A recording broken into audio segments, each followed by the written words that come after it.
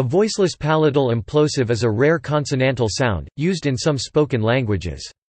The symbol in the International Phonetic Alphabet that represents this sound is RC. A dedicated IPA letter, was withdrawn in 1993.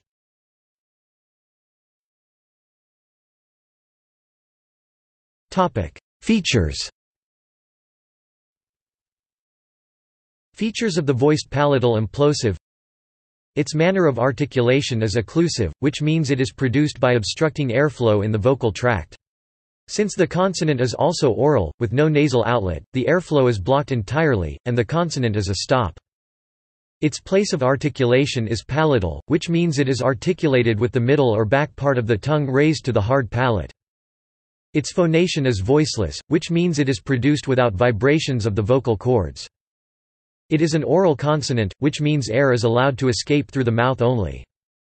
Because the sound is not produced with airflow over the tongue, the central-lateral dichotomy does not apply. The airstream mechanism is implosive glottalic ingressive, which means it is produced by pulling air in by pumping the glottis downward. As it is voiceless, the glottis is completely closed, and there is no pulmonic airstream at all.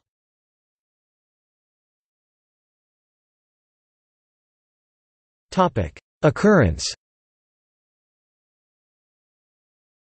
A rare and evidently unstable sound, is attested from the Serer language of Senegal, and the dedicated letter, is given for the language's Arabic script orthography.